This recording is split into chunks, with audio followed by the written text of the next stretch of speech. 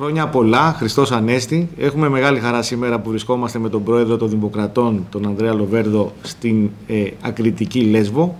Εγώ έχω έτσι μια ιδιαίτερη χαρά γιατί είναι και ο τόπος καταγωγής μου από το σκαλοχώρι της Λέσβου και θα ήθελα ως γραμματέας του κόμματος των Δημοκρατών να δώσω ευθύς αμέσως τον λόγο στον πρόεδρό μας για να τον ρωτήσετε όλα αυτά που επιθυμείτε. Ευχαριστώ πάρα πολύ τον Παναγιώτη Κόνσουλα για την εισαγωγή. Ο Παναγιώτης Κόνσουλας είναι, όπως σας είπα, ο γραμματέας του κόμματος των Δημοκρατών ε, και ήρθαμε μαζί, είναι συμπατριώτης σας.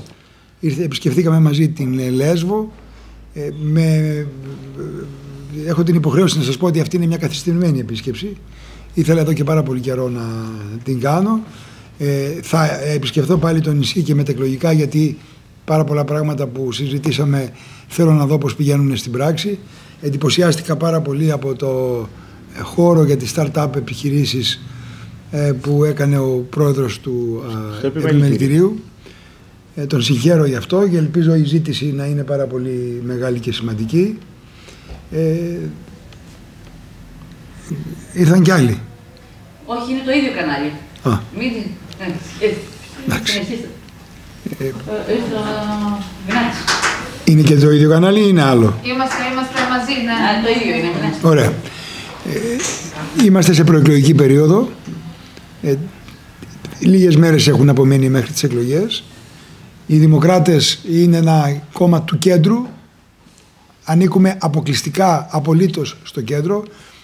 Ε, για λόγους συμβολικούς φωτογραφήθηκα και με το άγαλμα, με την πρωτομή του Γεωργίου Παπανδρέου ε, εδώ και δεν υπάρχει κανένας λόγος σήμερα ένας Έλληνας πολίτης ε, να μας βλέπει με κάποια ανησυχία ή αμφιβολία γιατί εγώ ως πρόεδρος του κόμματος είμαι πολύ γνωστός έχω ασκήσει πολιτικές και ως αντιπολίτευση και ως κυβέρνηση και μπορώ να πω ότι ο πολίτης στις 10 του μηνός που θα μας προτιμήσει στις 10 του μηνός Ιουνίου δηλαδή την επομένη των εκλογών δεν θα αισθανθεί σε καμία περίπτωση ε, ντροπή για την επιλογή του ή έκπληξη δυσάρεστη για την επιλογή του γιατί ό,τι λέμε προεκλογικά θα είναι αυτό που θα καθορίσει τη στάση μας και μετεκλογικά σε βαθμό 100%. Θέλουμε να συνδυάσουμε τον πατριωτισμό που πατριωτισμός δεν σημαίνει εθνικισμός, στην Ελλάδα γίνεται αυτή η παρεξήγηση, με τη μεταρρύθμιση. Με την ανάγκη δηλαδή να προχωρήσουν μεγάλες μεταρρυθμιστικές αλλαγές που έχει ανάγκη ο τόπος. Στην Ελλάδα δυστυχώς αυτά θεωρούνται ασύμβατα μεγέθη. Δυστυχώς όμως. Και στο πρόσωπο το δικό μας, των 42 υποψηφίων, θέλουμε αυτή η αντίφαση να παραμεριστεί και εμείς να καταφέρουμε να είμαστε μια αξιόλογη μεγάλη πολιτική δύναμη γιατί έχουμε και κυβερνητική βλέψη. Εμείς ιδρυθήκαμε για να κυβερνήσουμε. Όχι για να κάνουμε έναν ε, πολιτικό χώρο που φωνάζει στην αντιπολίτευση. Σε καμία περίπτωση. Τι καλά που θα ήταν τα πράγματα άμα κυβερνούσαμε εμείς, που δεν θα κυβερνήσουμε όμως ποτέ. Άρα έχουμε μια ελευθερία να λέμε ό,τι θέλουμε. Η εύκολη καταγγελία, η πολιτική της εύκολης άρνησης, οι επαγγελματίες αρνητές στον χώρο της αντιπολίτευσης έχουν χρεοκοπήσει.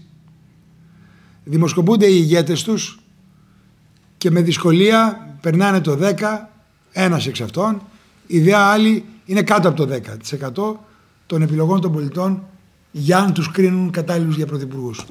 Ενώ ο κ. Μητσοτάκης ανενόχλητος τόσα λάθη έχει κάνει και είναι από 35 έως 40% πρώτος. Γιατί, γιατί έχουμε ζήσει ήδη μια αντίφαση να βασιλεύει το κόστος ζωής, το υψηλότατο κόστος ζωής στην Ελλάδα παντού, ακρίβεια στα τρόφιμα, δημοτικά τέλη, λογαριασμοί πάσης μορφής που έρχονται στα σπίτια.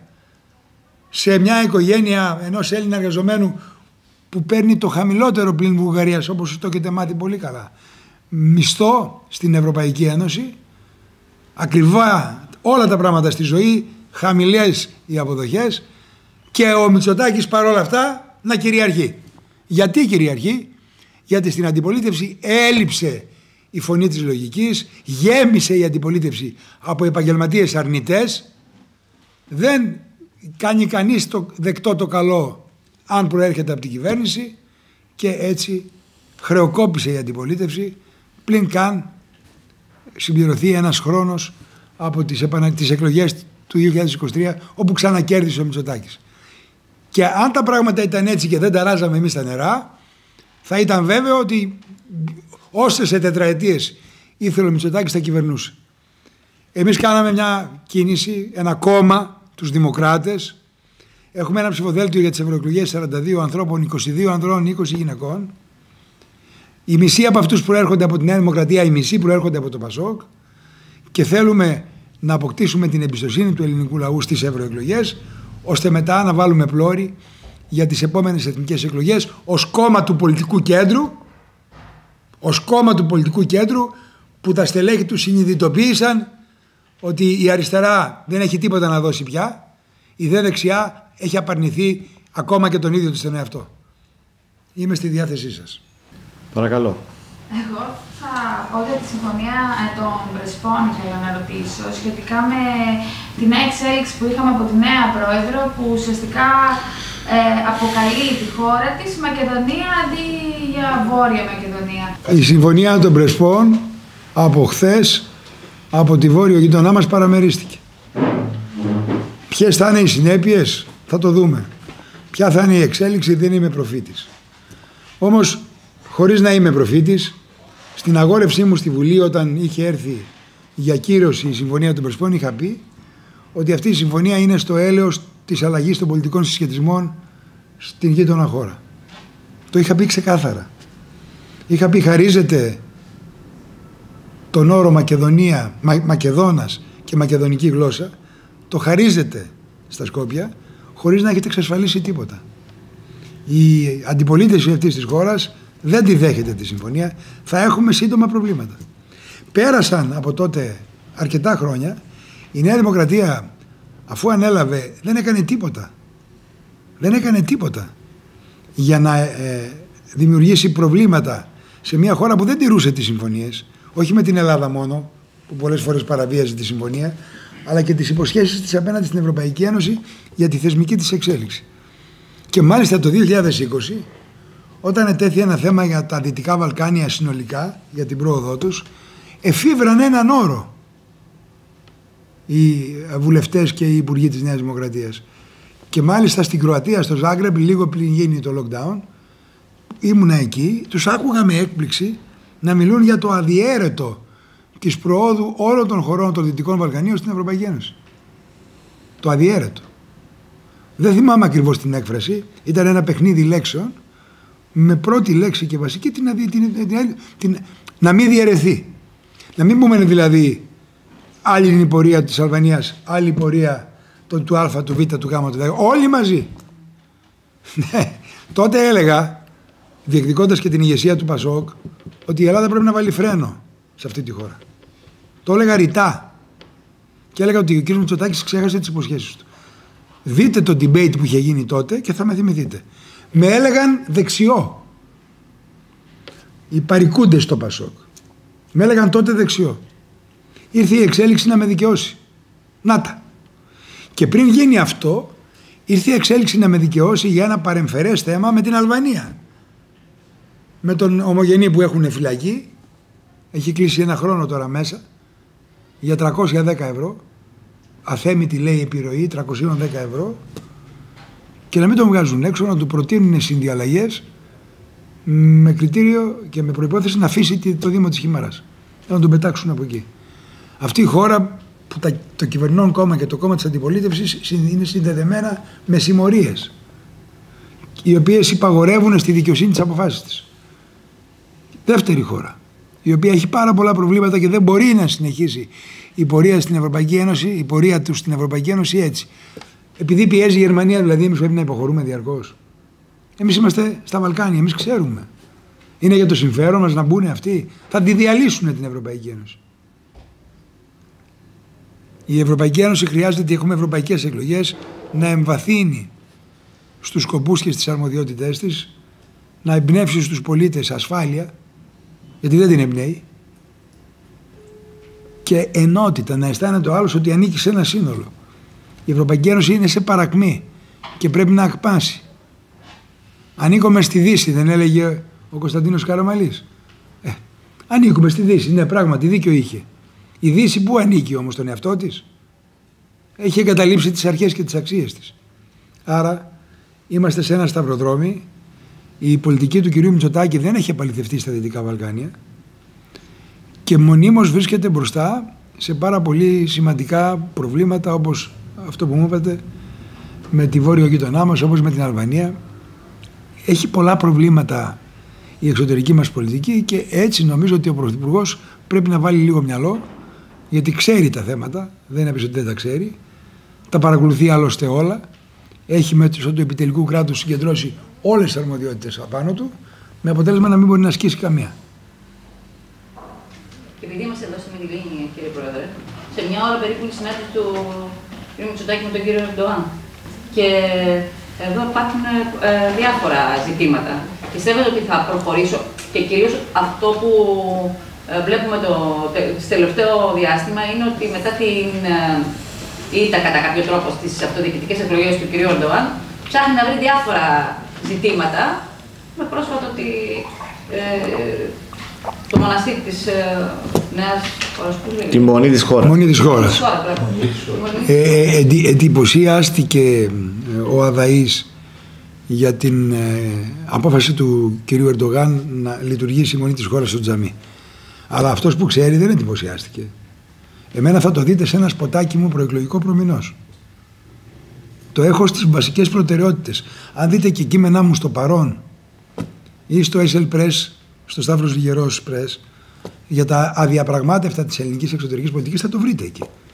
Αλλά όμως και από το 2020 εγώ ως κοινοβουλευτικός εκπρόσωπος τότε του Πασόκ είχα κάνει ε, ανακοίνωση, δήλωση. Γιατί τότε το αποφάσισε ο Ερντογάν. Τώρα το εφαρμόζει. Και είχε κάνει και ο κύριος Παυλόπουλος. Ο κύριος Προκόβης Παυλόπουλος. Είχε κάνει μια τέτοια αντίστοιχη δήλωση. Τι έγινε τέσσερα χρόνια στην UNESCO; Τι έγινε τέσσερα χρόνια Τίποτα. Αρχίζουν τώρα και εφευρίσκουν δικαιολογίες. Ότι κάθε χώρα έχει μονομερές το δικαίωμα να αλλάξει ένα μνημείο πολιτιστική κληρονομιά. Μα αυτό είναι της UNESCO. Και έχει και ένα ιστορικό. Η ίδια η Τουρκία είχε πει στην UNESCO να το καταστήσει μνημείο παγκόσμιας πολιτιστικής κληρονομιάς. Και τώρα τα αλλάζει. Τι πράγματα είναι αυτά; Όμω. μόνο μέχρι εκεί, δηλαδή δεν θα συνεχίσει; Ορίστε, θα συνεχίσει φυσικά. Γιατί αυτά που κάνει μέσα στο πλαίσιο μιας καλής γειτονίας με την Ελλάδα που έχει εγκαινιαστεί εδώ και καιρό είναι πολιτικές οι οποίες ναι μεν εξασφαλίζουν τις βίζες, την ηρεμία στις θάλασσες αλλά από την άλλη πλευρά η Τουρκία κάνει μικρά βηματάκια μπροστά και σε κανένα πίσω. Μικρά βηματάκια μπροστά και σε κανένα πίσω. Η Ελλάδα όμως τέσσερα χρόνια δεν ειδοποίησε την UNESCO εγκαίρως όσο έπρεπε, δεν πίεσε, δεν ενημέρωσε τους υπουργούς πολιτισμού, δεν ενημέρωσε το Ευρωπαϊκό Κοινοβούλιο, δεν ενημέρωσε την ηγεσία της Ευρωπαϊκής Ένωσης, δεν ενημέρωσε τις ΗΠΑ. Συνεπώς τώρα έτσι στα ξαφνικά που έσκασε αυτό, για εκείνους τα ξαφνικά. Για μας όχι όμως που το παρακολουθούμε. Δυσκολεύτηκε και η στάση του κ. Μητσοτάκη. Τα κάνει να μην πάει στην Τουρκία; Θα του λέγανε ότι είναι ταραξίας. Θα δικαίωνε τον Ερντογάν. Φυσικά και έπρεπε να πάει. Τώρα όμως που θα πάει και του το έκανε επίτηδες ο κύριος δεν το έκανε αυτό, του βάλε κάτι να τον δυσκολέψει, ε, μας είπε ότι θα του το θέσει. Θα εκφράσει τη δυσαρέσκειά του. Τι απάντηση θα του δώσει ο Ερντογάν; Υπάρχουν απαντήσεις που θα καταστήσουν μεγάλη ήττα το γεγονός αυτό. Μια ήττα που θα έχει προκύψει από την αβελτηρία που υπάρχει εδώ. Άστο, εντάξει μου, δεν είναι τίποτα, άστο, άστο, άστο. Να μην λέμε συνεχώς, να μην προβάλλουμε θέματά μας συνεχώς κουράζουμε τους Ευρωπαίους να προβάλλουμε συνεχώς θέματά μας. Φίλε, αν αισθάνεσαι ότι κουράζεις τους Ευρωπαίους, κάτσε να πάει κανένας άλλος που δεν κουράζεται. Έτσι. Είναι περίπτωση του Τουρκετζίαν, ας πούμε, του σήματος αυτό που κατοχύρευσε η Τουρκία. Κοιτάξτε να δείτε. Ναι, δηλαδή. Κοιτάξτε να δείτε. Έκανε σε ό,τι αφορά τη, τη, τη γαλάζια πατρίδα κάποιο βήμα πίσω, τη διδάσει στα σχολεία. Ο 25ο μεσημβρινό είναι το όριο της άσκησης θαλασσόλικος της τελευταίας. Ο 25ο έτσι. Το βλέπετε στο χάρτη που είναι 25ο. Λοιπόν, η, θαλάσσια, η γαλάζια πατρίδα είναι σταθερή τους πολιτική επιλογή. Δεν κάνουν πουθενά πίσω. Πουθενά. Άρα λοιπόν, σωστά έγινε η προσέγγιση, αλλά αν δεν προσέχεις την καθημερινή πολιτική των Τούρκων, τότε θα χάσεις. Και οι Έλληνες έχουμε μια κακιά συνήθεια. Ανεβάζουμε ένα θέμα και μετά το ξεχνάμε. και να μας πείτε και για τις επαφές σας ε, στη Μυτιλίνη. Ε, συναντηθήκατε με τους παραγωγικούς φορούς, ε, τι ακριβώς- φορείς, Ναι. τι ακριβώς συζητήθηκε, ποια είναι τα συμπεράσματά σας. ε, τέλος πάντων. Ακούστε, ακούστε, ακούστε. Ε, συνάντησα, συναντήσαμε με τον κύριο Κόνσουλα και τους πολιτικούς μας φίλους εδώ, τον κύριο Βατό και τον κύριο Ζαφυρίου. Ε, ως αντιπροσωπεία των Δημοκρατών ε, συναντηθήκαμε με τον πρόεδρο του Επιμελητηρίου, ε, τον κύριο Βαγγέλη Μισινιά. Ναι, Μισινά. Ε, καλά το λέω. Μισινιά, καλά το λέω. Και του εμπορικού συλλόγου. Και- ναι. Ε, και κουβεντιάσαμε ε, όσο επέτρεπε ο χρόνος ε, τα, τα βασικά θέματα. Το βασικότερο θέμα που εγώ συγκράτησα και το έχω στο μυαλό μου για να το παλέψω είναι ότι σε ένα νησί με πάρα πολλές κρίσεις συνεχόμενες γιατί ξεχνάμε τη μεταναστευτική όταν η- είμαστε στην Κέρκυρα ή ας πούμε μάλλον και η Κέρκυρα έχει προβλήματα με Αλβανούς αλλά εν πάση περιπτώσει όταν είμαστε στην Αθήνα το ξεχνάμε εδώ σου λέει ο άνθρωπος οικονομική κρίση μεταναστευτική κρίση πανδημία έτσι και ε, το γεγονός ότι είσαι στα σύνορα στη μ- μεθόριο Ε, εδώ χρειάζονται ειδικά κίνητρα για να βοηθήσεις ειδικά κίνητρα για να βοηθήσεις, απαλλαγές, νομιμοποιημένες απαλλαγές και επίσης μου υπογράμμισαν προβλήματα που σχετίζονται με την καθυστέρηση ε, ε, καταβολής των χρημάτων που σχετίζονται Μεταφορικού εισόδημα. με το μεταφορικό ισοδύναμα που- που το έχουμε ψηφίσει στην Βουλή. Και σου λέει έχουμε από το 22 να πάρουμε. Αυτό είναι πολύ πολύ βασικό πρόβλημα. Ε, στην καλή πλευρά της επίσκεψης ήταν η επίσκεψη μας στο χώρο ε, που δεν είχε ακόμα ξεκινήσει να λειτουργεί, ξεκινά να λειτουργεί αυτές τις μέρες της, της έδρας για startups επιχειρήσεις, για νεοφυείς επιχειρήσεις που εγώ ευνηδιάστηκα χωρίς ενίκιο για ένα ή δύο χρόνια να μπορείς να στεί- στήσεις εκεί τη δουλειά σου η δουλειά σήμερα στείνεται με έναν υπολογιστή ναι αλλά πρέπει να έχεις και μια βάση είναι υπερβολή να λέμε ότι θα κάνουμε τη δουλειά μας εδώ στο λιμάνι με έναν υπολογιστή. Οι συνθήκες είναι άριστες. Του είπα ότι έχω εκπλαγεί και ότι θέλω να δω τι ζήτηση έχει αυτό. Αν έχει εικόνα να έχει ζήτηση. Γιατί αν δεν έχει ζήτηση είναι μια πάρα πολύ ωραία ιδέα. Αν όμως έχει ζήτηση σημαίνει ότι είναι και ωραία ιδέα και πάρα πολύ χρήσιμη. Άρα λοιπόν μπορώ να πω ότι η επίσκεψη του επιμελητήριου ήταν πάρα πολύ σοβαρή και σημαντική. Η βόλτα στην αγορά για μένα ήταν πολιτικά σημαντική. Ένας συνάδελφός σας που με παρακολούθησε μπορεί να σας πει ότι αν λέω υπερβολές ή όχι. Μου έκαναν εντύπωση πολίτες που μου έλεγαν το όνομά τους και ότι θα με ψηφίσουν, θα μας ψηφίσουν και ότι προέρχονται από άλλα κόμματα. Αυτό επιβεβαιώνει τις δημοσκοπήσεις που λένε ότι πάνω από το 50% των πολιτών θα ψηφίσουν κάτι άλλο από αυτό που ψήφισαν τον Ιούνιο και επίσης επιβεβαιώνει και τη δικιά μας προσδοκία ότι θα είμαστε το μεγαλύτερο από τα μικρά κόμματα. Θα είμαστε το έκτο κόμμα της Ελληνικής Να Βουλής. ρωτήσω τώρα πάνω σε αυτό. Ε, επειδή πολύ, σε τρεις εβδομάδε έχουμε ευρωεκλογές. Τέσσερις. Τέσσερις. Ναι, τέσσερις. Δηλαδή, Ε, Πώς θα καταφέρετε να. Με την ψήφο των, να πολ- σε- με την ψήφο των πολιτών. Τι έχετε το, με την ψήφο, ναι, σίγουρα. Δεν υπάρχει άλλος δρόμος. Και με τον, ε, την ψήφο των πολιτών, των πολιτών Έχετε το 3% για να μην. δεν φτάνει το 3. Δεν φτάνει το 3. Γιατί πρέπει να υπάρχει και αδιάθετη έδρα για να την πάρεις. Α, μπράβο, γιατί δεν- Γιατί είναι 21 έδρες. Αν είναι από πάνω σου 50 κόμματα, που θα ξεπεράσει το 3, αλλά δεν θα πάρεις. Επειδή όμως δεν θα είναι 50, εμείς σκεφτόμαστε ότι θα είναι 5 και θα είμαστε εμείς το έκτο κόμμα του ελληνικού πολιτικού συστήματος και μετά θα είμαστε μια πολιτική δύναμη ε, καταλήτης για τις πολιτικές εξελίξεις ή και θριαλίδα για κάποιους. Έτσι. Θα κάνουμε δηλαδή πάρα πολλά πράγματα. Το δίκτυό μας είναι πανελλήνιο, σημαντικό. Υπάρχουν περιφέρειες που είμαστε πάρα πολύ ισχυροί. Αλλά δεν θέλω να κάνω προβλέψεις και προγνωστικά, θα το δείτε στην πράξη. Μας λέτε ότι θα έχει πολύ μεγάλο ενδιαφέρον, δηλαδή το μετακλογικό σκηνικό. Πάρα πολύ μεγάλο. Δεν θα το αφήσουμε ανέπαφο. Έτσι. Θέλουμε να μας εμπιστευτεί ο πολίτης που αλλάζει, έστω και πρόσκαιρα. Γιατί πολλοί μας λένε θα σας ψηφίσουμε για τώρα. Την ξέρουμε αυτή την ψήφο. Και εγώ απαντώ, ευχαριστώ πάρα πολύ, είναι τιμή, αλλά θα πασχίσουμε να την κρατήσουμε την ψήφο σας και μετά. αυτό είναι πάρα πολύ βασικό και πρέπει να σκεφτείτε και σε κάποιους διαμαρτυρωμένους, θέλω να απευθυνθώ και να τους πω ότι κανένας πολίτης με την ψήφο του δεν αποτελεί ιδιοκτησία κανενός κόμματος.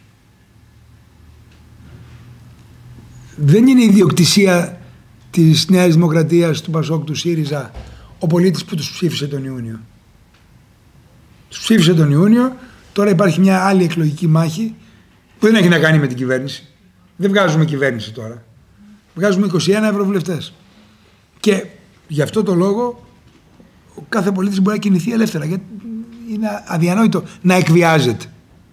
Με πάσης μορφής εκβιασμούς. Ο πολίτης είναι ελεύθερος, εμείς το κοιτάμε στα μάτια. Τους λέω σε όσους μου λένε ότι στις 10 του μηνός θα είστε υπερήφανοι που μας ψηφίσατε. Δεν θα σας εκπλήξουμε αρνητικά σε τίποτα και πάμε μαζί για να νικήσουμε. Εντάξει. Ναι. Ε, Κουτσαβιάδρο, με την εφημερίδα Εμπρός, θα ήθελα να μας πείτε επιγραμματικά ποιοι είναι οι στόχοι του κόμματός σας ε, και γιατί να προτιμήσουν το δικό σας κόμμα σε σχέση με άλλα, δηλαδή ναι. πού διαφοροποιούμαστε. Ναι. Στόχος του κόμματός μας είναι να είμαστε το έκτο κόμμα στη Βουλή, να αναδείξουμε ευρωβουλευτή ή δύο ευρωβουλευτές και να παίξουμε το ρόλο που σας είπα πριν από λίγο στο ελληνικό πολιτικό σύστημα, να μην το επαναλάβω. Σε ό,τι αφορά τις ιδιαιτερότητες που έχουμε, τις θετικές ιδιαιτερότητες, είναι όπως σας είπα ο συνδυασμός της μεταρρύθμισης με τον πατριωτισμό. Θα πω τι εννοώ. Και δεύτερον, ότι εμείς είμαστε κόμμα της κοινής λογικής. Δεν είμαστε κόμμα της επαγγελματικής άρνησης. Όχι ό,τι και αν πει η κυβέρνηση, όχι ό,τι και αν πει το Πασόκ, όχι ό,τι και αν πει ο ΣΥΡΙΖΑ. Όποιος λέει κάτι καλό θα μας έχει κοντά του.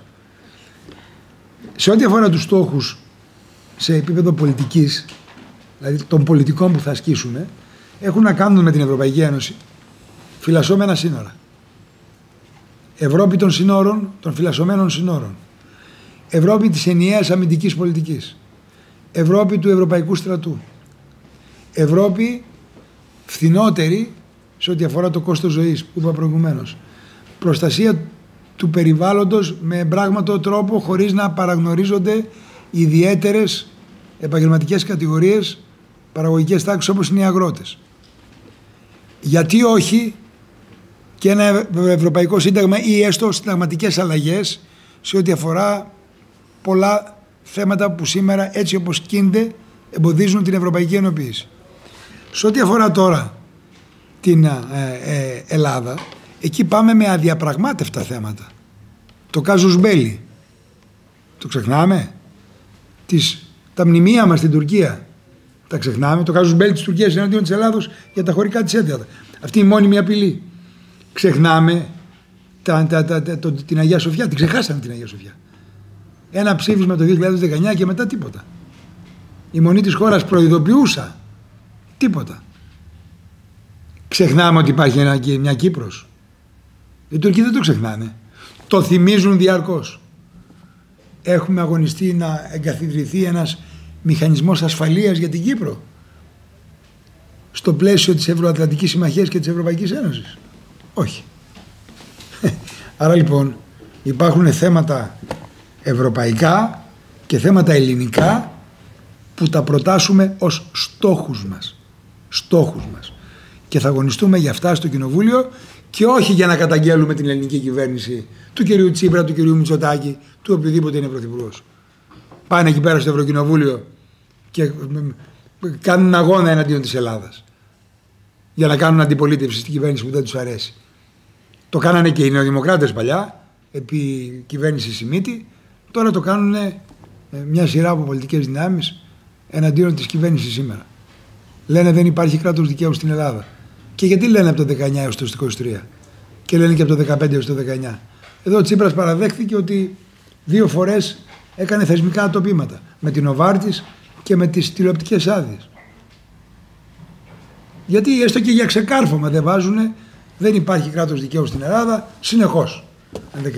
19-23, σιγά, πας εκεί για να βρίζεις τη χώρα σου, να ναι, συκοφαντείς τη χώρα σου.